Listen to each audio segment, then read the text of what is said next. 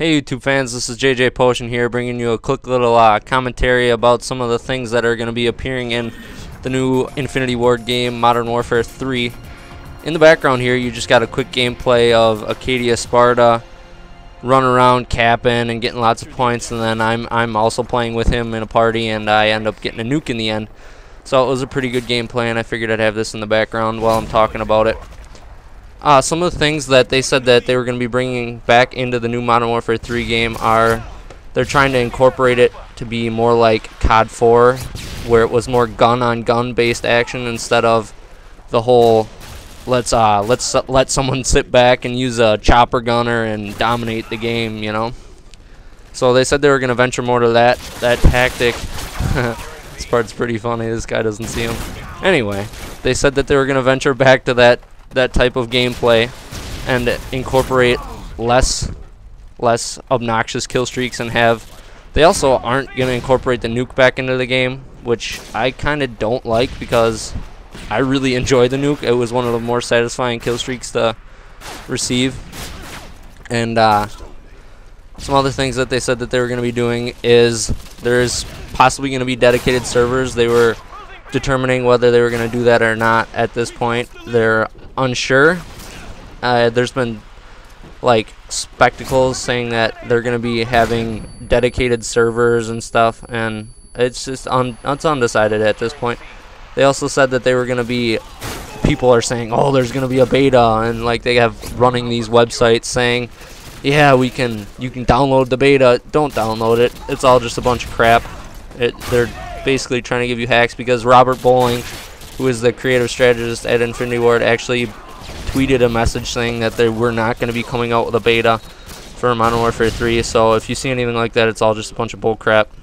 Some uh, other things that they said they were going to be incorporating, uh, there was actually leaked photos of some of the guns that were supposed to be appearing in the game. At this point, I mean, they, they all look pretty legit to me. They, It's basically just an oriented gun in a backdrop of there's like an ump on there and a scar and some other things. On Kotaku's website, it actually says that there's like a scar light and a scar heavy. So there's like a an assault rifle version and a light machine gun version. And they so they're supposed to be incorporating a whole bunch of new guns. There was a big list. There are noob tubes coming back. They had something on there that looks like similar to a thumper, which is kind of stupid, but uh, they they are eliminating like the danger close and one man army type perks that are really stupid. I hope to God they don't bring back death streaks. Um, those are the stupidest thing ever. Like, why would you reward a player for doing bad? I mean, I've seen clips of people getting, you know, four hit markers on someone with painkiller or, or shooting an RPG direct impact to them with with uh, painkiller and it not kill them. So just stupid stuff like that in case you guys are unaware, the three developers that are going to be working on it are Infinity Ward, obviously, and uh, there's going to be Sledgehammer Games and Raven Studios is working solely on the multiplayer online portion of it. Uh, there's actually going to be an event coming up soon. Uh, I forget when. I think it's September 2nd or so, somewhere in there. Uh, called Call of Duty XP, and what it is, it's going to be the actual official release of the online multiplayer gameplay and stuff and uh, they're gonna have like a life-size recreation of Scrapyard, and they're gonna have like paintball going on in it and stuff. It looks really, really cool. I, I would love to go there, but it's in San Diego, so not gonna happen. Um, some of the th oh, there was just this just this past week there was a picture of a possible hardened edition of the video game, like a picture of someone holding it in their hand. It was a box it was posted by Robert Bowling on his Twitter account. So look forward to being able to buy or pre-order your Prestige or Hardened Edition possibly around the same time that Call of Duty XP event goes on. I know for a fact I'm going to be getting the Hardened Edition. Prestige maybe if it is decent. I mean, if it if they give us some toy crap like they tried giving us with Black Ops, I'm not even going to bother with it. But the MW2 was actually pretty cool. They give you those uh, military grade night vision goggles, which is really cool. Um, there was also info released just this past week, week and a half ago now, about um, Turtle Beach is actually making a Modern Warfare 3 headset now. They're going to have uh, several different lines of their headset.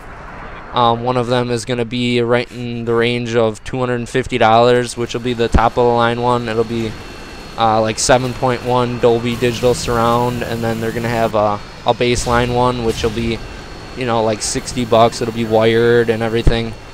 I'm definitely looking forward to that. Those are supposed to be releasing uh, sometime in October, which sounds really good. I mean, I'm I got the Turtle Beach PX21. That's actually what I'm using to do this commentary.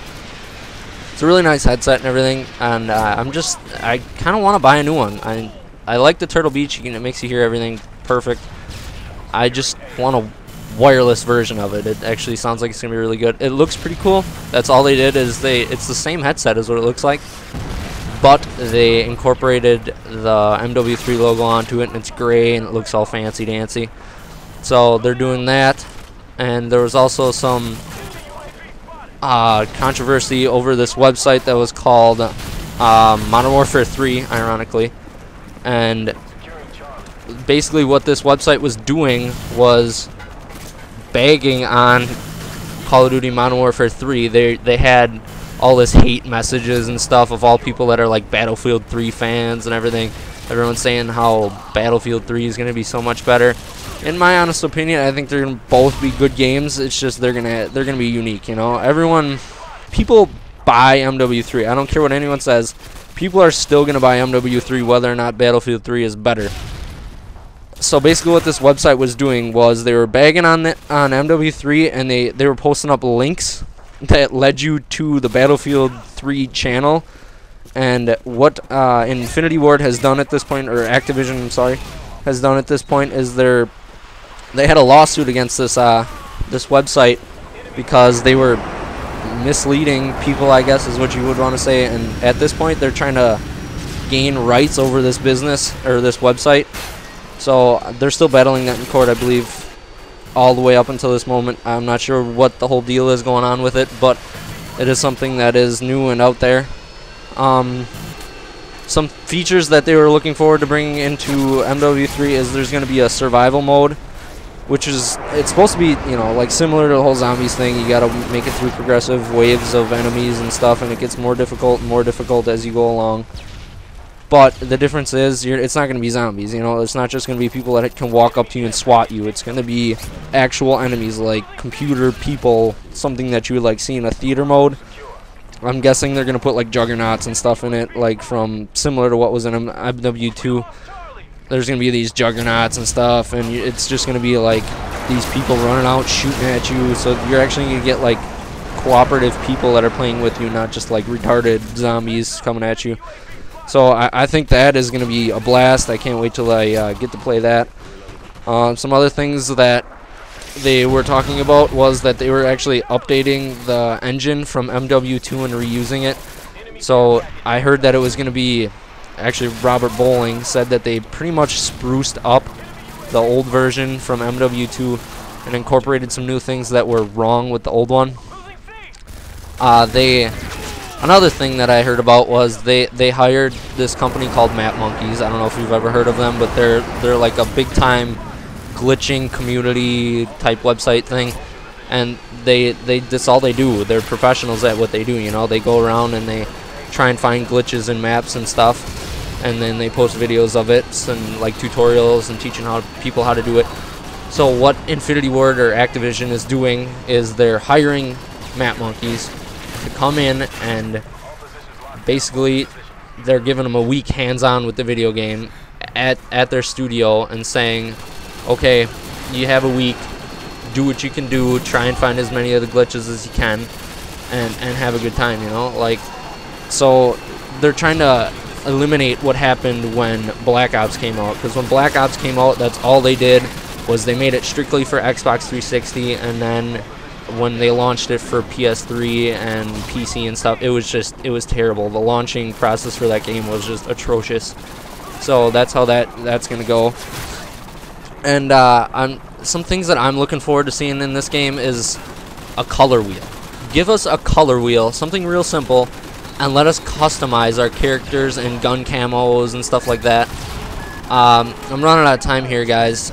Uh, if you guys have any any uh, thoughts or anything, just leave it in a comment, and then uh, I'll uh, I'll possibly do a commentary on it. Send me a nice detailed message or something.